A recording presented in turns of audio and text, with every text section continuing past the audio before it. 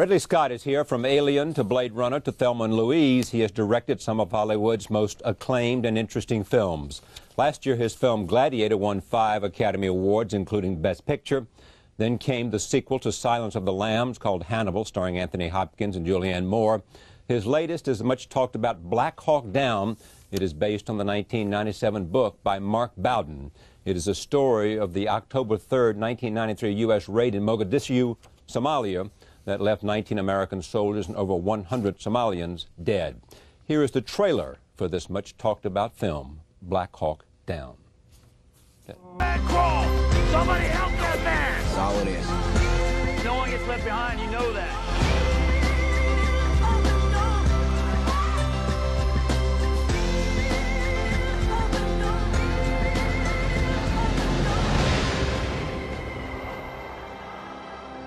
Nobody has to be a hero. Sometimes turns out that way. Pleased to welcome Ridley Scott here for the first time to talk about this rather remarkable movie. Uh, Mark Bowden was on this show and he had with him a couple of Rangers, and we, we talked about it then. At the time of the book, everybody talked about uh, this as some extraordinary sense of what it is like uh, to look death and to look heroism right in the eye. I was doing a profile of Ridley Scott while he was making Hannibal, and I said to him, What's next? And he said, Black Hawk Down. And at that time, I wondered uh, what you would do and, and how you would make this movie. And now we know, and a lot of people are talking about it, not only because. Uh, not only because of what happened there, but what it led to in terms of American foreign policy, and people saying, mm-hmm. taking note of the fact that Osama bin Laden, mm-hmm. on observing what happened, said the Americans will always run when casualties come. Mm-hmm. I think that's part of the experience. Um, but you know, this this was 1993, and the we had special forces going in there for all the right reasons, right. humanitarian reasons. Um, uh, the event that was meant to take half an hour took 18 and a half hours.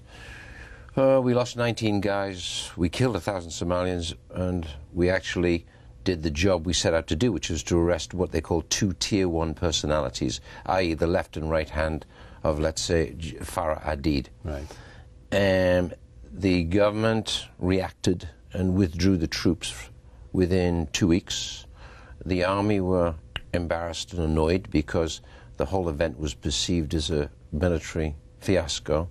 And of course, it wasn't because they, they, they did what they set out to do. We should say President Clinton was then president, yep. and chairman of the Joint Chiefs at the time was uh, was um, was Colin Powell or Powell. not? That's yeah, it was Powell. Yeah, and I think everybody slightly withdrew from this thing as if it was a fiasco. So when I Jerry approached me with Bowden, Mark Bowden's book.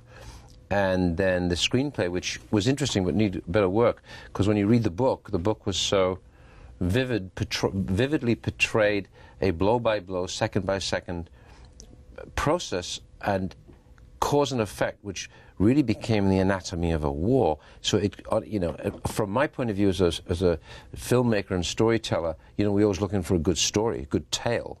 So that's what I was looking to begin with, and I looked at the process. I love process, uh, and I love cause and effect and because right in there you find all the best people, yeah. or you find people at their extremities, stretched to their extremities, and that's why it becomes interesting. What happened is it started to unearth itself because then I, I, I saw it was perceived as an embarrassment. Why? Then I remember, the, rem, of course, remember the event, but it was like a glimpse, mm. a flash of two bodies being dragged through the streets, right. a negotiation for a pilot called Durant, who was released after 11 days, and and it was over. And I wondered, what the hell was that all about, you know? And there it was, here it was. Army annoyed with government, government uh, embarrassed about the process, and what followed was Clinton's decision, or Clinton's government cabinet decision, to essentially remove ground forces, military aid from the American for foreign policy, really for the next nine years until September the 11th, right? Right. Uh, you've got some encounters that have occurred since 1993, but mostly they've been airstrikes, right? Mm-hmm. Uh, so we made the movie and uh, started in March, ended in June. Looked at what you call the director's cut, which is a presentation of where I am now with, to the studio and to Jerry and uh, it was perceived as being, we thought we really had something. Um, What do you think you had? uh, accuracy, and yet it worked as a kind of um, mainstream movie. I mean, I, I find myself in the process of making mainstream movies. Mainstream movies, for the most part, tends to indicate a fairly high budget. Very high, fairly high budgets tend to indicate that the bottom line is all about commerce, and of course it is. And so I've, I've got to wear a kind of two heads in the process because I still think I'm a creatively uh, driven, um, but at the same time I'm honoring an agreement and uh, pact unwritten with a studio which says I will do the best I can for this given amount of money. This And given amount of money was about 90 million, was it? or- yeah, yeah. I mean, in today's world, in today's prices, what what it was was uh, a it wasn't exactly bargain basement, but it was actually a good price for what it cost to do. Uh, you cast it. Mm-hmm. Uh, there is no Mel Gibson here. There is no Tom Cruise here. Ask Mel. There is no. No, no, no, I didn't. No, You no, did no, ask no, Mel? that was. No, that was another one. no- Mel, says my knees have gone. I don't think My so, mate. I don't think so. No, Fred. no, no. you, you didn't ask Tom Hanks. You didn't. Who just did Oh. Saving Private Ryan. Uh, it's two. How many hours? Two. Two, two hours and Two 30? twenty-three. Two twenty-three. Yeah. Yeah. Mhm. And- Um, they. Uh, but you got you got Sam Yep. Shepard. Yep. And uh, I think what we went for was, uh, you know, the the original story takes hundred ca- is hundred characters. It's basically seventy five Rangers and twenty five Delta, uh, who are the new the the Rangers are the less experienced, and the Delta are the the uh, big daddies of the process of covert forces. And um, uh, y- you can't make a movie about 100 characters. So we really, one of the hardest problems was reworking the material, the writers, God bless them, till they were driven crazy, till we could get it distilled down to who, how, what's the smallest number of people I can tell the story with. It came to 37 people. So you're still not having, you know, most movies evolve and revolve around two central characters, the guy and the gal, or mm. the good guy and the bad guy, and mm. everything else circulates mm. around that. Um, in here, it's segments of a jigsaw puzzle, and everyone has a voice. And therefore, I couldn't get any smaller than that, and therefore, it was really on act of faith. I got talked to these guys saying, you know, you want to do the film, like Josh, who's heading certainly way Into upwards. Superstardom. Yep, absolutely. And Ewan McGregor, where it's really a phone call saying, "Will you do this?" It's not a big part, but it's really interesting, and it will, I guarantee you a really interesting experience. Uh, Tom Sizemore, Sam Shepard, Yeah. Ewan McGregor. You know, it's a good cast. Yeah. Um, you hope the story does what? Does, does Um, your telling of it does what as a movie, as an experience? Well, anybody in their right mind, um, if you're making a war movie, is making an anti-war movie, right? So, first of all, If you about- make it well, it's an anti-war movie because it shows the horror of war. Yes, if you make it well and it's uh, seriously intended, which the book is, and there's n- and there was no reason to bend the truth. The book, you know, fiction is nearly always far more remarkable than fact. So just everything in the film is absolutely from the reports of the guys, how they saw things, the hand on the ground, the guy getting blown in half, the all that stuff was that's not me, that's in there. The guy missing the rope. The guy, the other guy missing the rope still doesn't know how he missed the rope. So we helped him there by having an RPG go at the chopper, and Yeah. uh, and those choppers were eight tons and turn can turn 90 degrees in one and a half seconds. Yeah. So the guy's going to take evasive action, and down he goes, right? Because the rope snaps, and you know. Before we go, because I want to see the movie, here is Mark Bowden, uh, who wrote the original book, um, Black Hawk Down, and two of the Rangers. Roll tape. Well, what made it a great story to me initially, what attracted me was the notion of 99 soldiers pinned down and surrounded in this ancient African city fighting for their lives. It just conjured up images to me of, a, of classic military confrontations like the Little Bighorn or, or the Alamo. Yeah, that's the first thing I thought, Alamo. I said, this is, you know, this is a story of people looking at the inevitability of death Right. and thinking of comrades and thinking of, of and not thinking of courage, but acting with courage. Right. And what does, what does that experience do to somebody? You know, I, I grew up uh, listening to the stories that my uncles and my father told about World War II, and, and of course, we all were exposed to all the movies and, and, and television which dealt with war subject matter when we were younger. Um, too young myself to have fought in the war in Vietnam, But as a writer, I long felt that uh, that combat would afford just the richest, most dramatic material for a writer if you could get inside the heads of the soldiers who were fighting it, and ideally on on both sides. Were you at that time saying, "Oh my God, this is this is not going to be pretty, and we're not going to get out of here"? Yeah, you're exactly right. At that point in time, I realized, well, if we can clean this up and get these guys out of here and get them back to us, everything could still be okay. But then that from from the second that helicopter shot got shot down, things started to break down very rapidly. I think there were two other helicopters that got hit within about uh, a span of several minutes right after that. Another one crashed, and I think another one was able to limp back to the uh, site that it had taken off from. Was there today for you, Dan? Is there a moment that sears in your soul and brain more than any other? A time? Well, there wasn't anything that really leapt right out and grabbed me. It kind of creeped up on me as things started to come apart. And like many military battles, uh, a big problem was communication, and communication tends to break down when the situation gets dire. And so for me, what I really remember was this creeping feeling as as we started to drive around the city, which we did for quite a while, in an attempt to pick these guys up. Uh, I just had this overwhelming feeling that we were just going to continue to drive around the city until uh, we were all dead because we were taking in incredible numbers of casualties, it seemed at the time on the convoy. As we're watching this, you told me that you had arranged some screenings Yeah. at military Sure. installations. Yes, yeah, yeah. And the response is what? The response was. And why is it important for people to see this of the family? Um, it's Or like what is it? it's like closure, because I think everything was pulled. The rug was it was swept under the rug. The whole experience, and I think the guys were then shipped off. I think the next port of call was Germany. The dead were sent back to to the U.S. and um, it felt like it had all been for nothing. And so I think this is why the army partly wanted to have the film made, because then if it was made properly, we could show and illustrate what did happen, and platform the discussion as to what really went on. Right. So therefore, it became closure. So I ran with Jerry and I ran the film at three bases this past few days, and uh, the last of which was Bragg, um, where I met a lot of I think Delta and Rangers, and uh, met some of the families that lost. Uh, you know, And they were happy that you didn't pretty it up, They were- sentimental, make it too sentimental. very conscious of that, very conscious of what we can do sometimes in Hollywood, which is to romanticize or sentimentalize, and by doing that, soften the process, you know.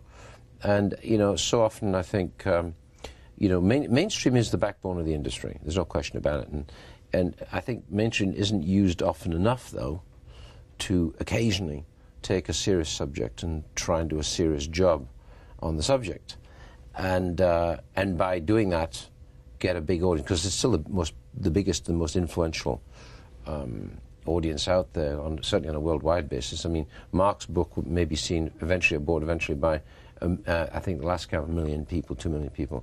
But if this film goes right, it'll be seen by millions of people. So it it it it creates discussion, it creates argument. It, I mean, some of the discussions and arguments I've been having with journalists who said this is jingoistic, this is racist. I'm going, excuse me, it's racist? I've got a whole bunch of guys who, by definition of that's the way they were and that's what happened. There was only one.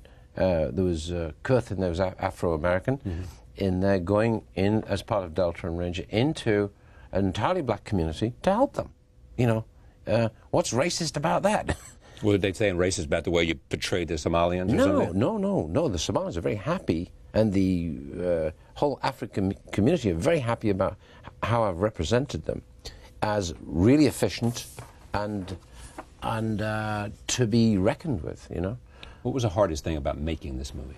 um, script Script. Getting the Always right is. It always always is the goddamn material, right?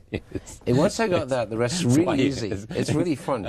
How many scriptwriter took a shot at this? How many makes five, four? Uh, no, so we had Zaillian, we had uh, uh, uh, Mark, And- then Zaillian. had a shot. No, Ken Nolan, Ken Nolan. then Zaillian, Yeah. and then then Nolan back out with me again, Morocco, Yeah. living through the process on a daily basis, and uh, I think as a young, really young, a real youngster, he really, en- you know, en- you know, how that. You got it. Oh yeah, yeah. Okay. Roll tape. This is troops arriving in downtown Mogadishu. Let's go! Let's go! Ramsey! No fear! Oh, yeah, right! Rangers securing perimeter. Work orders. Hello! They're shooting at us! Hello, they're shooting at us! We'll shoot back! You had advice from uh, a, a bunch of Army people on this, huh? hmm Yeah, I had uh, t- uh, Tom Matthews, Lee Van Arsdale, Colonel Tom Matthews, and L- Lee Van Arsdale, who uh, uh, Colonel Matthews was in charge of the air-to-ground uh, support system, which was basically he was eight and a half hours in a, in a Black Hawk. Um, and uh, Lee Van Arsdale was um, representing the film as a, as a Cribbs, Colonel Cribbs, uh, who's works with uh, General Garrison from what they call the Ops, which is JOC, Right. where the other amazing thing is they're televising the whole thing. So you've got a general watching from above, a bit like a metaphorically the you know, Yeah. the general on the hill watching the cavalry.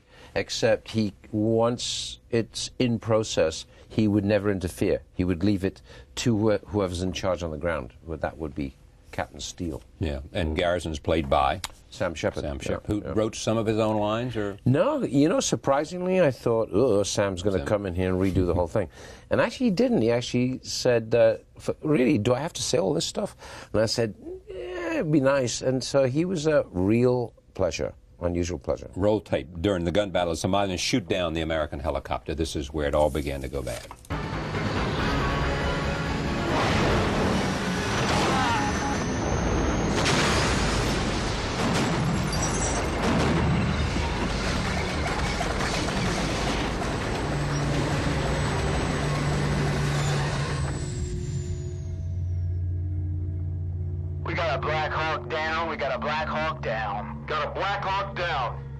That's where Garrison knows is down and they're in for trouble. you were describing to me about the, the whole system. The first thing you do is turn the the, uh, Yeah. the, the gas off so it won't explode when you hit the ground. Again, it's all about process. You switch off all the fuel lines, and so you know, once you know you've lost it, you try and, uh, what they call, I guess, feathering it down. So they try and do a, a pancake landing on its belly because the seat's got six G's in it. The uh, undercarriage has got about six G's in it. So if it collapses like that, your whole interior of your body can take about 12 G's. So the assistance of the collapsing hydraulics may help you not break your back. Anybody survive that? Yeah, Busch survived Busch. that, plus two others. Um, the pilot didn't survive it. He got jammed, his legs jammed. They couldn't get him out. So he was dead. The two pilots were dead. Uh, Busch was uh, uh, Delta, who actually stood there and defended the fort, crawled out of the wreckage, stu- stood there for, uh, and kept them at bay for, I think, uh, almost 45 minutes uh, until they could get a small bird in there. And uh, I think discharge all his 11 magazines. Is there anything to the notion that, I mean, you are a commercial director, but Mm-hmm. you've also had a long experience directing commercials, pure commercials, Sure. as well as sort of pieces that are smaller, like Thelma and Louise, that are groundbreaking films. Is there anything to this idea that a great director wants to have in his or her body of work Mm-hmm. a war film? Uh, not necessarily. Um, but, you know, it's like, I mean, asked, but what films would you not make? And I'd say nothing. Um, it all, depend, all depends on the material. So if someone came in to me about the, the you know, the Twin Towers Yeah. um, yeah. next year and it was a great script, it's all about the material. It's all about, and great material drives great characters and drive character, and that's what we do. I mean, hopefully. So you're um, looking for great material. yeah, I'm, I'm an, uh, theoretically, I'm a filmmaker and entertainer. I'm not a documentarian, although it's nice to get one close, Which is if you can, one. which is this one, which is the closest I've had before. Much success with this film. Yeah, thank you very much. Ridley Scott, Black Hawk Down opens nationwide uh, this Friday, January 18th. Already getting a lot of nominations and a lot of talk. Back in a moment. Stay with us.